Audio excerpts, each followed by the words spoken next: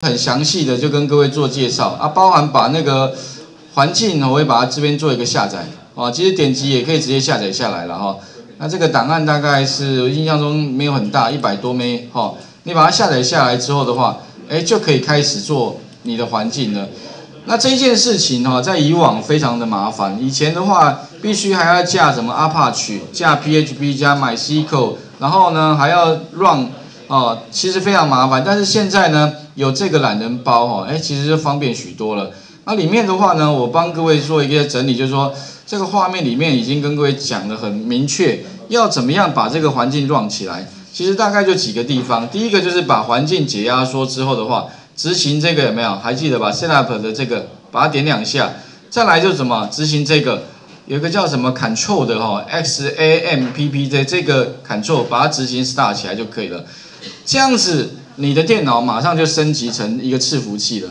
一个 server 就马上 OK 了哈，那也就是说你这一台电脑只要二十四小时开着连上网络的话，你这一台电脑它就是一台啊伺服器。那如果说你要当云端的档案伺服器的话，只要哈你有个固 I，所以你查出你的固 I 之后的话，就可以马上变身为云端的伺服器了。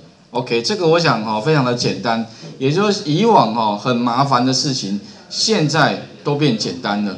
哦，所以以后如果你要去面试的时候，人家可能问你这方面的问题了啊，云端怎么样架站等等，你说很简单，其实真的也不困难。好，那这部分的话还有影片，上个礼拜的影片。那除了说呢，我有放在我的部落格之外哈，另外呢我也放在那个哪个地方的哈，放在我的云端上面，还记得吧哈，这个云端的网址。那这个网址里面哈，我刚刚这边有个放一个。我的讲义这里也有哈，讲义那里面的话，我们的这个网址实际上就是里面我有把这参考书目哈，就这一个 C C K U 二 J J 大写，其他都小写，它有个 Q R code 哦，一样呢可以连到我的这个云端上面。那同样的哈，其实刚刚讲的这个问卷可以用云端硬碟完成。那像我刚刚给各位看到哈。这边有相关的下载连，那你也可以把它改成像清单式的，或者是这边有一个检视哈，图示的检视。那像这个东西哈，以往如果你要办到，你也必须要架一个伺服器。不过我觉得哈，Google 云端硬碟真的是太方便了。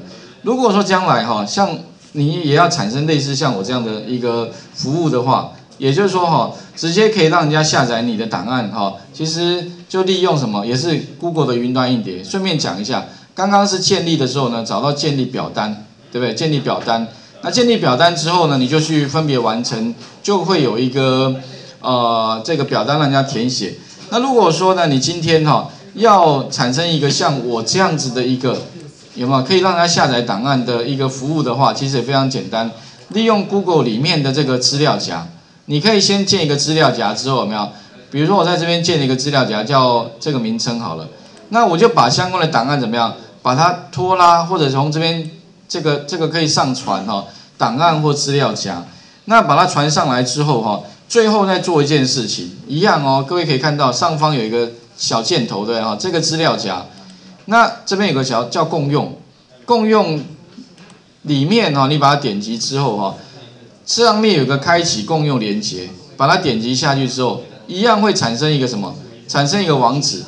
这个网址哈，一样可以怎么样？把它复制之后呢，再到那个 g o o 点 g l 那个地方哈，可以把它怎么样？缩短网址，并且产生一个 Q R code。哎，那这样的话，以后人家直接输入我刚刚那个网址之后的话，哎，就可以进入到我分享在云端上面的东西哈。那我在其他上课的地方都会用这种方式。那用这种方式呢，其实也蛮长一段时间，没什么发生太多问题。好啊，另外哈，上个礼拜上课的内容哈，所有的影片哈都在这上面，所以特别注意哈，以后呢，如果你想要取得哈所有上课的内容的话，诶，在上面都会有放哈这个上课的录影。那当然哈，这个上课录影哈，其实只有你们这边我有传上，因为严老师有要求了，在其他地方我都不传，我都没有放在这里，我都放 YouTube 上了哈。因为放 YouTube 上的话，也不会浪费我这边空间。那因为这边是考量到各位哈，就是还在找了，所以直接就放在这里。那里面的话，上个礼拜上课的所有内容，通通都在这里了。哦，总共有五个段落，所以如果哈你有哪些细节没有听清楚的话，非常的简单，点击它。比如说上礼拜那个怎么样运行这个啊环境有没有？这边直接可以怎么样？直接可以执行。那执行的话就可以直接看了哈。当然，如果你在手机里面可不可以做？也可以在手机里面播放哈。我发现也非常的清楚，而且它是 HD 高画质的。OK，所以这里的话给各位啊这个地方哈，将来我的上课的内容哈也会把它放上来，所以各位不用担心说有些部分哦学不会啊。不过我发现现在你们大家最大的问题不是学学不学得会的问题，而是要不要学的问题了哈。OK，那不过没关系啊，我把它录下来哦，至少你想学的时候啊，这上面还是有。啊，我我比较发现就是大部大部分都是毕了业之后才知道哦，这个是很重要的，因为可能你现在还不知道重要了哦。不过没关系，那今天的话哈，呃，我们要继续来看，就是说哈，我们这这这个这个后面的部分呢，那里面再来就是哈，刚刚讲到有关 PHP 的这个这个设计了。不过 PHP 的这个啊不，跟着这个云端 Google 云端的这个使用哈，那 Google 云端的使用它有个缺点就是说它有很多事情是办不到的啊，比如说呢哈，像有一些系统可能你是比较克制化的，那这里就没办法办到了啊。那顺便讲一下啊，其实你看在这个其实还蛮简单的，就是变更主题一下好，然后查看即时表单，那查看回应。那查看回应哈，我觉得 Google 的这个蛮厉害的地方就是说，如果我们用 PHP 加 MySQL 啊，资料库会在 MySQL 里面。那 Google 的这个东西哈，它是放在 Google 的试算表，而且哈，它最厉害的地方，我觉得它有听到大家的需求。为什么？因为一般人都习惯哈，平常用的就是 Excel，所以哈，你会发现哦，这个东西哈，填完问卷之后呢，如果不要在云端上作业，可不可以把它变成 Excel？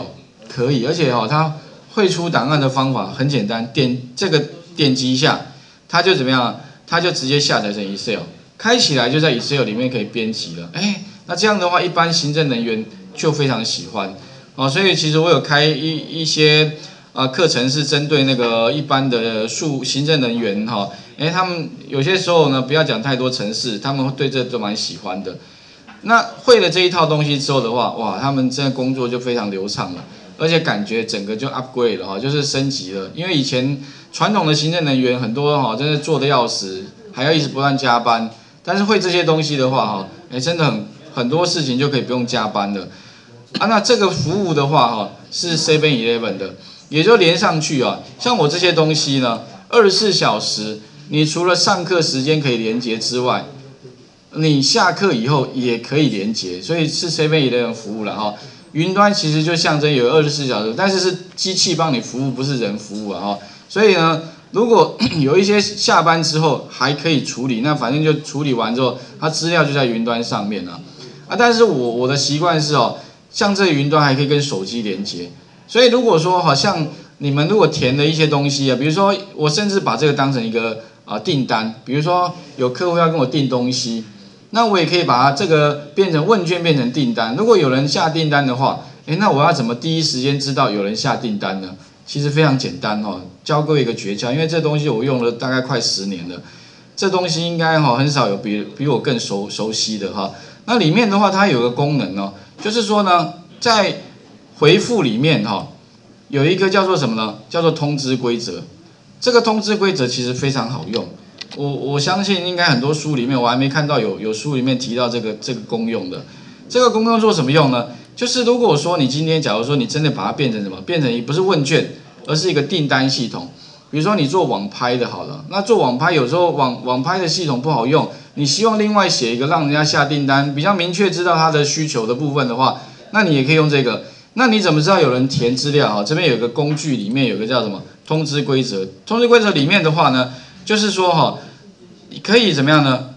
如果有人填了问卷，填了需求，填了一个订单好了，那你可以怎么样呢？在这边选那个立即通知，通知到哪里呢？email，然后把它储存。哎，它会什么现象呢？像我的习惯这样的，偶尔啊，因为我会手机会开那个，如果有呃 email 进来，它就会叮咚一下。那我这样的话，我会看一下，哎，如果有人下订单的，那我可以马上怎么样？第一时间就帮他做 service。他哎。他会觉得很很棒，为什么？因为他可以及时的帮你做服务。那这个部分哈，我觉得也是 Google 很厉害的地方哈。那你可以把它储存之后，下一次呢进到这边呢哈，你会发现它下一次如果有呃有提交有提交表格的时候，就是说有人下了订单，就马上通知你，那你可以把它储存。那这个时候呢，填的资料，你的 email 信箱，哎，email 就会通了哈。OK，所以这个部分的话，提供给各位参考了，有太多功能了。那这些功能哦。我觉得最妙的地方是哦，完全不用花任何一个费用，这也是 Google 厉害的地方。难怪 Google 现在是最赚钱的，网络目前最赚钱就是 Google。那 Google 哈，它没有赚到我们任何一毛钱，可是却可以赚最多，这个奇很奇妙的一件事情。OK，那这里的话，请各位哈，呃，先试试看，然后再来就是把上个礼拜的部分哈，上个礼拜的部分一样哈，再把那个环境建置起来。因为上个礼拜的部分哈，我们好像是在，呃，我是放一碟了哈，或者你们放低碟、一碟都可以。那记得哦，下载了之后解压缩嘛哈，里面把这个 set up 这个有没有直接点两下？好，有没有上礼拜的部分？然后它会有个什么呢？Sorry，呃，nothing to do 啊，按任何键有没有？空白键一下，OK，哎，哦，USB stick install not found。那我建议哈，它这个地方的叙述啊，可能就建议不要放在随身碟哦，建议是吧，放在低碟底下，所以把这个哈，把它抠到低碟好了。就你上礼拜那个，你也可以直接抠到低碟，然后把它 run 起来哈。那等一下的话呢，我们就要开始来进入到那个 PHP 哈，这个可能要有一比较难一点点，会需要，如果你不用 Google 表单，你要怎么样建立表单？用 PHP 怎么做？好，来把画面再还给各位一下哈。就是你先试试看哦，那个刚刚讲的 Google 表单啊，啊，另外补充了一个就是 Google 的那个云端硬碟的分享哈。如果说你以后呢会有很多的资料，像我刚刚刚那个上课资料啦，或者上课的影片要分享各位的话，哎，其实就可以用云端硬碟来做资料的分享，好，这第二个，那也可以短网址加 QR code。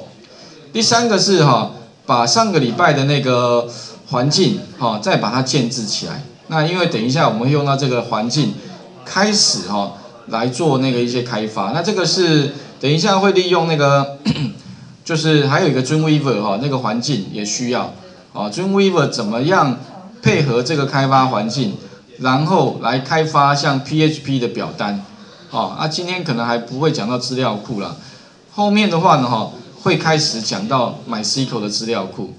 哦，这个部分也是一个专业啦。如果说你将来要找相关工作的话，你会这些哈，找工作是绝对不会有问题的哦。